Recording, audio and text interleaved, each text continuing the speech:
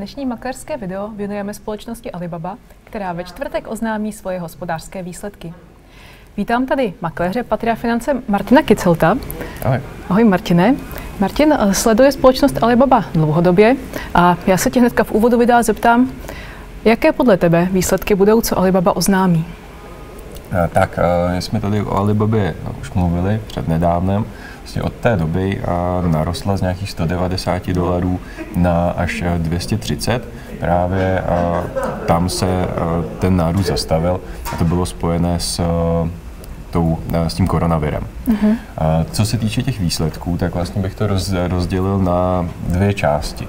Jedna z nich je to, co bude reportovat za čtvrtý kvartál minulého roku, což by mohlo být poměrně pozitivní, hlavně mm, hlavně díky vánoční výsledkové sezóně a je tam právě potřeba počítat s tím, že ten koronavirus, i když teď cenu akcie ovlivňuje, tak ale do výsledků za minulý rok se ještě neprojevil samozřejmě. Mm-hmm. A, takže to očekávání tam je nastavené tak, že, a, že výsledky by mohly být pozitivní právě díky té vánoční sezóně.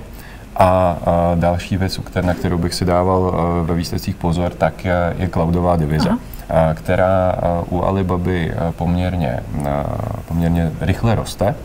Je to, sice, je to sice segment, ve kterém Alibaba ještě nedosahuje zisku, ale to je věc, se kterou ty investoři poměrně, poměrně očekávají, poměrně počítají. A, takže, takže to, že v cloudové divizi nebude dosaženo zisku, nemusí být nějaké výrazné zklamání.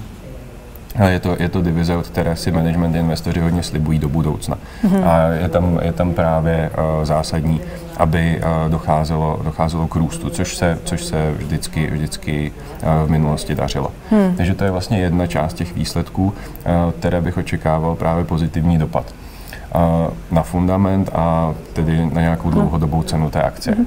Každopádně druhá část těch výsledků bude právě spojená s výhledem hmm. na tento rok a to by mohlo být právě negativní zasažení toho, toho koronaviru. V tuhle chvíli ještě nevíme, jaké ty dopady budou. Spousta analytiků se snaží udělat nějaký odhad. Každopádně Každopádně už jenom ta zmínka o koronaviru většinou v investorech vy, vyvolává nějakou, nějakou panickou reakci. V úvozovkách není to tak, hmm. není to tak hrozné. Takže, takže ta reakce na výsledky by právě díky tomu komentáři mohla být i negativní krátkodobě, ale z dlouhodobého hlediska Alibabě věříme. Takže si myslím, že, že v případě nějaké negativní reakce by to byl spíš, spíš nějaký impuls k nákupu. Mm-hmm. Martine, díky moc za komentář. Uvidíme zítra, s čím Alibaba přijde. Děkujeme za pozornost a těšíme se zase příště na viděnou. Naschledanou.